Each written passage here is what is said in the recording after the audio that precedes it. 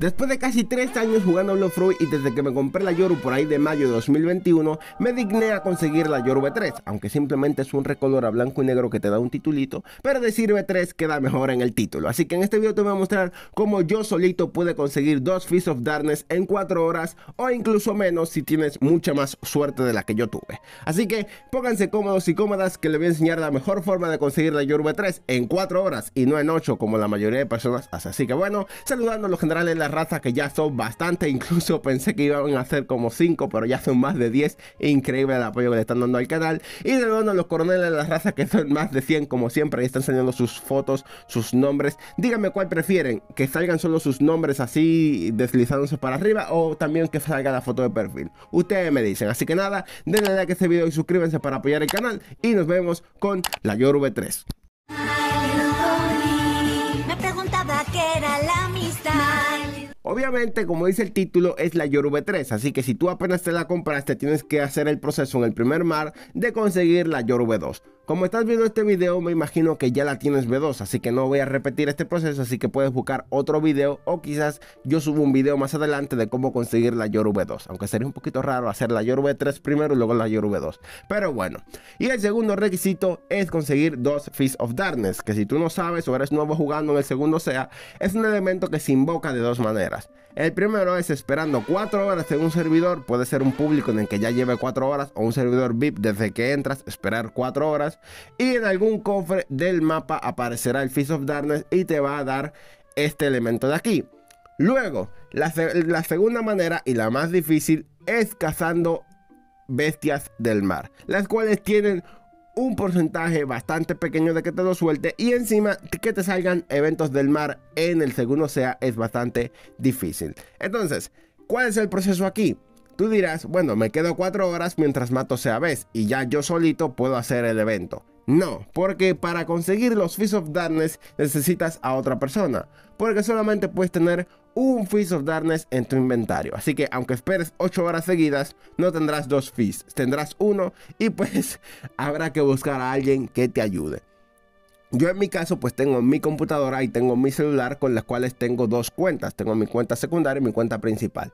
Entonces ya se adivinarán cuál será el proceso. En una voy a cazar eventos marítimos de manera FK para que no me saque y cuando suene un CABES pues me dé cuenta. Y en la segunda voy a estar farmeando, jugando, haciendo cualquier cosa en lo que pasan las 4 horas. Así que vamos a empezar por la recomendación principal para cazar los eventos marítimos que al menos me sirvió a mí. El Fizz más fácil es de las 4 horas porque ese es garantizado. Ahora el de los CBs es un poquito más difícil porque puede que te lo suelte a la primera o dures un ratazo buscándolo. En mi caso a mí me salió a las 2 horas, así que tuve que esperar 2 horas más para el segundo Fizz. El proceso es el siguiente, para que se queden AFK y simplemente pues eh, cuando escuchen el CBs pues ya vengan a matarlo. Es, se van al muelle 3 o en cualquier muelle que ustedes quieran, yo lo digo aquí porque aquí siempre me salieron bastantes. Se van al muelle 3 y pues si tienen computadora pues es más fácil y es que le dan a la W y a la al mismo tiempo y le dan dos veces a la barra del chat. Y ya con eso pues como que se buguea el, botón de avanzar y el barco va a estar dando vueltas. Aquí pues hay cuatro zonas. Está Green Zone, está Reino del Rosa, está el mar y están las montañas de nieve. Así que no sé si eso tenga que ver pero pues al menos a mí al dar vueltas en estas cuatro zonas me salían más eh, bestias del mar. Ahora ¿Qué es lo que pasa? No te lo garantiza la bestia del mar, salen muy pocas y pues es complicado que te lo suelte a la primera. Así que yo recomiendo que si puedes, las dos cuentas estén ahí matando el CBs, así en cualquiera de las dos, pues les puede salir el Fist of Darkness. Y pues si tienen más amigos, mucho mejor. El segundo Fist es el más fácil entre comillas, ya que este hay que esperar 4 horas, que es la única limitación que te da. Eso sí, necesitarás un autoclick o lo que sea para quedarte AFK durante 4 horas para que te llegue a salir o mejor te pones a farmear con códigos de experiencia o lo que sea como era mi caso que de, nivel 700 pasé a 850 y veré si busco una raza B2 para esta cuenta. Así que simplemente eran 4 horas y pues después de las 4 horas le salió el, el Fizz a un amigo que me vino a ayudar un poquito después. Después de un rato ya seguramente consiguieron los dos fees, ya sea porque les dio el CBIS, el fees al mismo tiempo a ambos, ya sea porque esperaron 4 horas más el best o pues ya sea porque tuvieron que esperar 8 horas. El puzzle es el siguiente, el usuario de la Yoru V2 tiene que estar en el cementerio, en esta zona de aquí que estarán viendo. Si ven que no tengo el fees y no va a aparecer barba negra es porque esto es una recreación. Mientras estaba haciendo este video, repito, estaba haciendo trabajos de la universidad, entonces no se me pasó por la cabeza hacer un video, simplemente conseguirla y luego cerrar el Roblox para quitarme el aburrimiento. Así que pues eso, es una recreación. Entonces el usuario de la Yoru V2 va a estar aquí en este sitio y como verán aquí hay como una especie de compuerta que pues se nota a leguas que esto se va a abrir y aquí hay un bulto que eh, se nota bastante que es como una especie de cuadrado en la piedra el cual es un botón el cual le van a tener que dar cuando tengan el fizz le dan aquí y pues ya se podrá activar la Yoru V2 digo la Yoru V3 pero antes necesita que invoquen a Barba Negra con el primer fizz entonces cuando tu amigo y tú estén combinados, pues tu amigo invoca a Barba Negra, ahí ya puedes hacer el puzzle, te pones aquí, le das con el Fizz, con la Yoru equipada obviamente, y ya con cuando le des, se abrirá la compuerta, aparecerá el título de un nuevo luchador, o bueno, un nuevo guerrero ha nacido, y ya con eso tendrás la Yoru V3 o la Yoru Blanca como le quieras decir. Después de hacer esto, pueden irse con su amigo a matar a Alba Negra ya que no desaparece. Ojalá les toque la Dark Coat. A mí nunca me ha tocado. y eso que ha matado como 40 Barba Negras.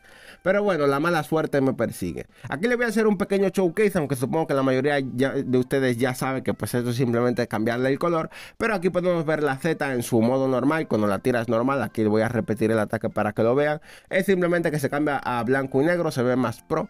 Pero bueno, ahí tiramos la Z de nuevo, la Z cargada pues también la voy a tirar para que puedan llegar a ver la diferencia que tiene, aunque no es, no es muchísima, es simplemente el color como vuelvo a decir. Y pues vamos a ver la, la X, la X normal es esta. Y pues esperemos que se recargue para tirar la X cargada, la cual pues como ven es simplemente un recolor. Así que bueno, ya consiguiendo el título, la Yoru blanca y completado nuestra misión, podemos desconectar mi segunda cuenta del celular y podemos cerrar el Roblox en mi PC para que no se me caliente y se me explote, dándole fin a este video.